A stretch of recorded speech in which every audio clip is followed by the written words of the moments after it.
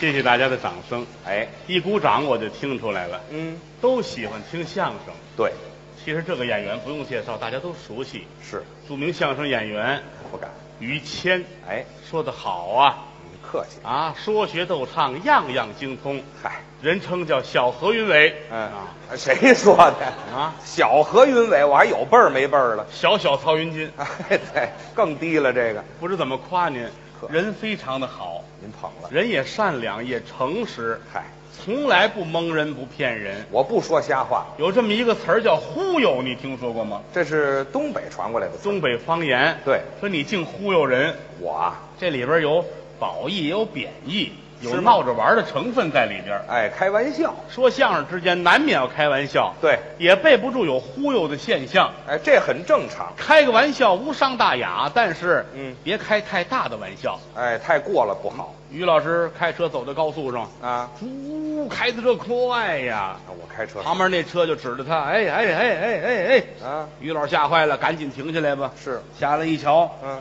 车没事儿，没事儿，打后边一万多辆车过来了，呜噜噜噜噜噜噜噜噜噜。过去了。于老师没了，哎，这是玩笑吗？这个？一个善意的小玩笑。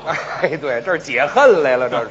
好多人都爱开玩笑，是，都爱忽悠人。对，其实说起来，我们日常日子里边有这么一天，好像是大家公认的开玩笑的日子。还有这么一天吗？四月一号，哦，愚人节，哎，真有这么一天，有一个电视剧演这个吗？是吗？神探愚人节，啊，没听说过。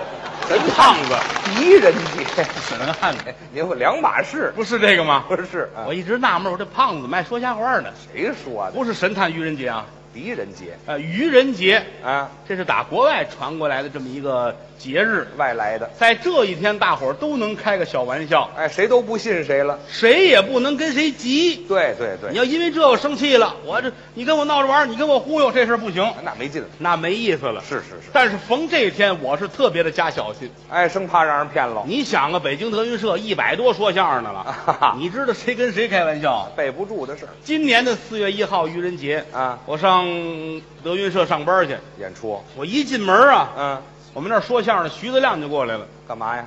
我跟您说点事儿，嚯，我说你住口，我说都不让。今天是四月一号，啊，说什么都不信。愚人节，啊。你打算忽悠我？哎，你说什么我都不信，他说了没有？你骗我。啊，他乐了，啊。您您听我说，哦哦。于谦呐是一个好人，哦。你骗我，哎，这没有，没骗你。这事儿您得信这个。这一年三百来天没说过啊，啊就这天他说你是好人，我能信吗？这太可疑了，这个是不是？嗯，反正就这一天，我看谁都像忽悠我的，啊都像说瞎话的，出来进去加倍的小心。这也对没想到突然间有点不舒服，啊。肚子不舒服，哦，去洗手间方便，上厕所，方便之后才发现嗯，没有纸，哦，这怎么回事？放纸那个地方只有一个轴，纸卷儿上面贴着一个条儿写着是，愚人节快乐。哦，你看，加倍小心还没没防住，有落款吗？落款写的是徐德亮，哎，还是落他手里头了，仇人呐，仇深似海啊！打早上就憋着呢。但是要报仇，必须你能先出得去。那倒是，我现在这个状况很尴尬，您想主意呀掏电话啊？给何云伟打电话。哦，这您徒弟喂，小伟吗？啊？师傅有难，嚯，速来搭救。这大事儿，师傅您什么事儿？您说，为师困在洗手间，哎，上天无路，入地无门。您还是腿没蹲麻是吗？您赶紧说这事儿吧我。有家难奔，有国难投。行了，你送点儿手纸来。哎，就这就对了何云伟乐了啊！啊。哇，你们来这套怎么着？这四月一号愚人节，哎呀，嗨，你骗我！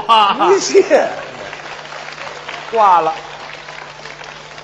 这怎么办？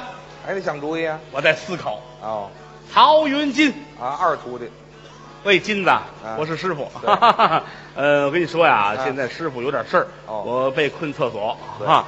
你看你能不能给我送点纸来？哎，这回是急了您别来这套啊！哈！刚才何云伟还给我发一短信呢，写的是，他骗我说他在洗手间被困，哎呀，我不信。这好嘛，全不信。